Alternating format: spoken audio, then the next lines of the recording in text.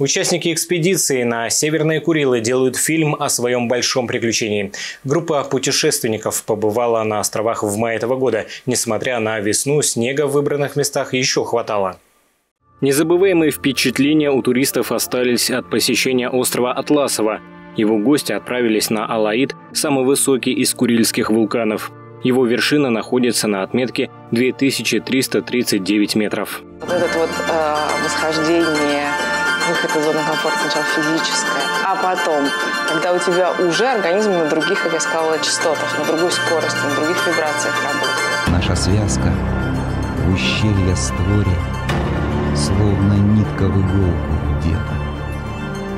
Мы шагаем, в гримасах скаля обожженные солнцем лица, а над нами сверкают скалы а под нами летают птицы, а за нами, глотая мир, шаг за шагом, привычно, просто. Мы кантами следы чертили, пополам рассекали остров. Добавлю, что путешественники пробивали облака, поднимаясь на лыжах и на другие вулканы. Пока опубликован только трейлер. Сам фильм будет представлен позднее.